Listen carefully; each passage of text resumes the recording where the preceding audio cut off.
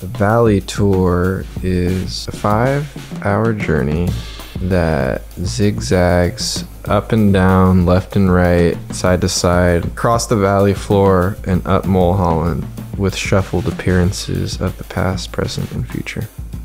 And my parents are from another country, and my idea of home is very different than like their idea of home. They probably think of, you know, Venezuela, but I don't have that same connection to the place. Like I'm from here.